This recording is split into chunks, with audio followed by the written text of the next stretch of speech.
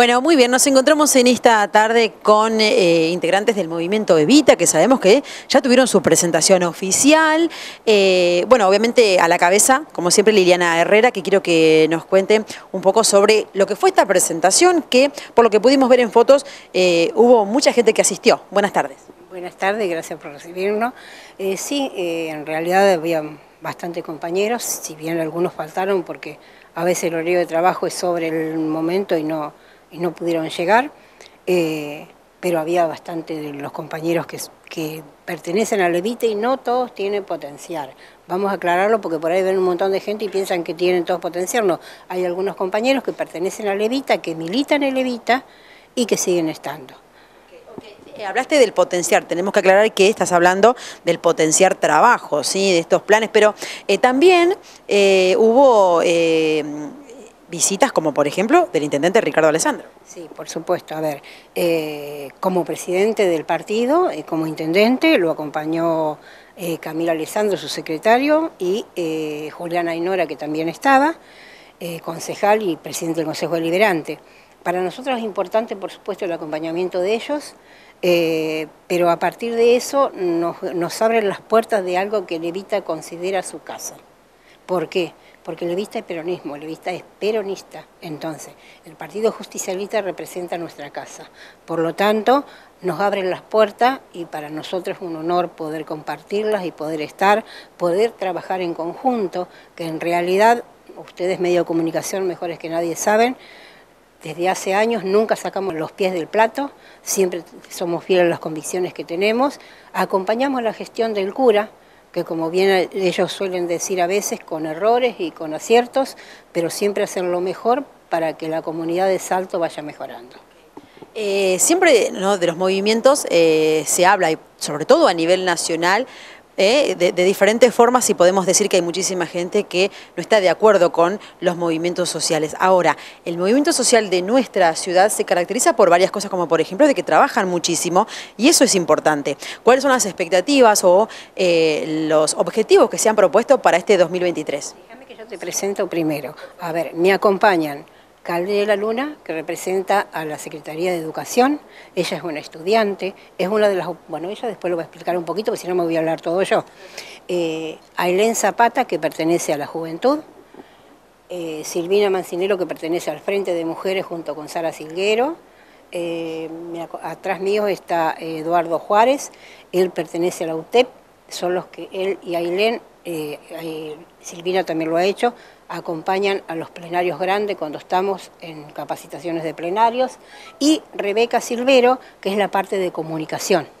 Ahora, cada una, pregúntale bueno, me gusta, me gusta que cada cual tiene su rol, ¿no es cierto? Y, algo para, para aportar a este movimiento. Bueno, con esto de que hablábamos, ¿no? Digo, es importante el trabajo que se realiza y vuelvo a esto, ¿no? ¿Qué objetivos se han propuesto para este 2023?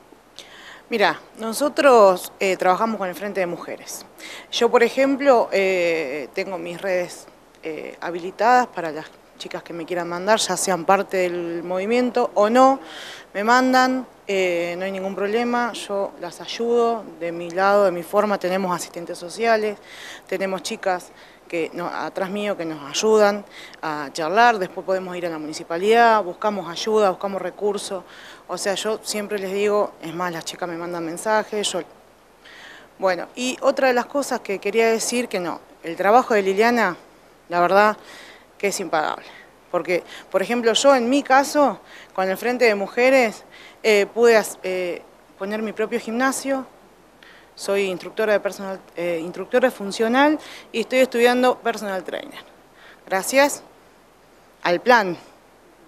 ¿Entendés? porque justamente de eso se trata, ¿no? De que haya un estado presente, pero que se use justamente para salir adelante, para trabajar. Es que realmente para eso lo hacemos, para eso lo hacemos. Somos, ¿Cuántos somos, Lili, en el movimiento? ¿40? 60 personas. Las 60 personas yo te puedo asegurar que tienen dos o tres trabajos, ¿entendés? Por eso yo a veces peleo, a veces discuto, a veces estoy en el feo. Y yo quiero hacerles entender que por más que eh, en Salto el movimiento Evita trabaja, ¿entendés? Porque yo sé que está mal visto en otros lugares, porque planero, porque sí, porque algunos sí, quizás no, no trabajen, ¿entendés? Entonces caemos todos. Pero el movimiento Evita en Salto trabaja. Bueno, esto es importante. Acá teníamos también eh, la parte de juventud, que también es importante, porque digo, son quienes impulsan, desde otro lado también, tienen otra mirada sobre la realidad, eh, ven ¿no? estamos en, una, en otra era, en otras cuestiones que también son importantes abordar. ¿Cómo lo, lo, representás o cómo lo abordás desde tu lugar como, como joven y como parte de este movimiento? No, nosotros los ayudamos, hacemos reuniones en conjunto, es más, ayudamos en la parte que es de apoyo escolar y eso a mí me benefició mucho porque yo eh, me pude pagar mis cursos, soy peluquera. Digo, eh, ¿ustedes eh, ¿dónde, dónde trabajan? Más allá de que trabajan en diferentes lugares y que tienen sus trabajos particulares, pero digo, ¿el movimiento tiene una sede? No, a ver, Movimiento Evita no tiene una sede eh, o sea, no tenemos un espacio, eh, un espacio físico, ¿por qué? Porque consideramos que sí, a ver, vuelvo a reiterar, si nuestra casa es la casa justicialista por ser peronista y nos da el intendente eh, Alessandro la apertura con la cual podemos disponer de horarios y, días cuando nosotros la necesitemos, nos parece una obviedad abrir un espacio aparte porque significa que estaríamos haciendo eh, como se suele decir en política partidaria, rancho aparte. Entonces, el Evita tiene principios y son los mismos objetivos de todo peronista en este lugar. Y si la gestión actual está en este, en este mismo camino, eh, es una tontería que no es una tontería, tendría otro significado, eh, a hacer, como vos dijiste, rancho aparte. Entonces, no nos parece, así que por lo tanto, por eso siempre hemos trabajado en conjunto, y ustedes bien lo saben que a partir de los años jamás, jamás sacamos los pies del, del plato, nunca nos pusimos aparte. Nunca dijimos esto lo hace solamente el Evita, no, siempre lo hemos articulado con distintas eh, eh, instancias de la Intendencia y con distintas secretarías de la Intendencia.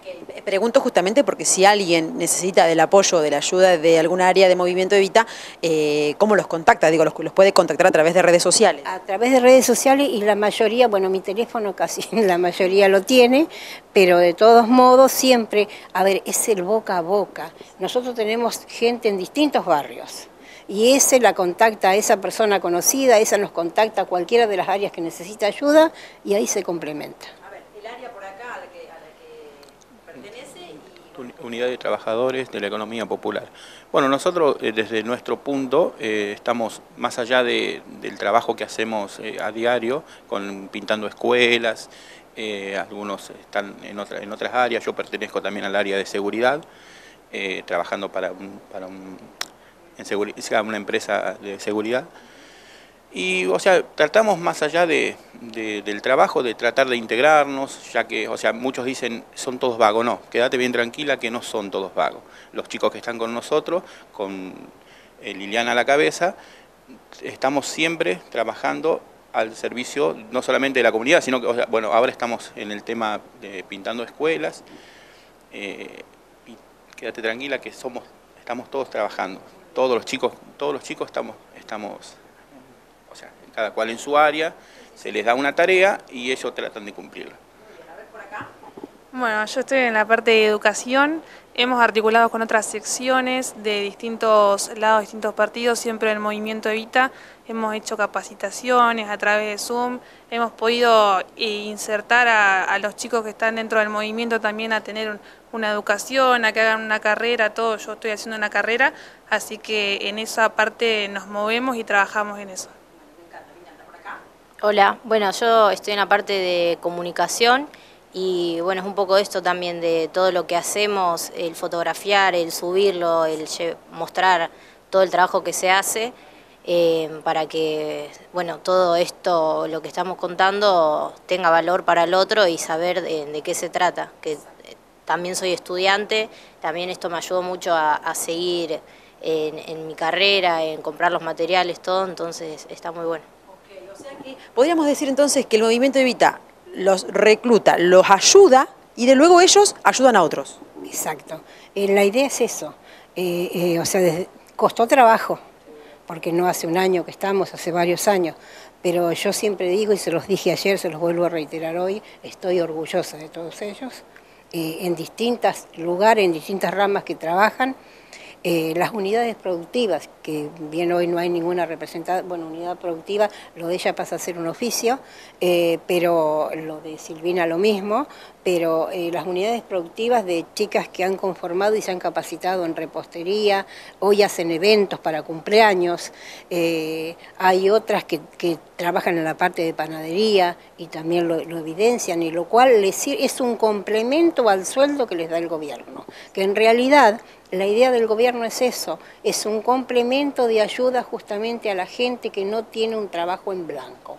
¿sí? El que no puede lograr...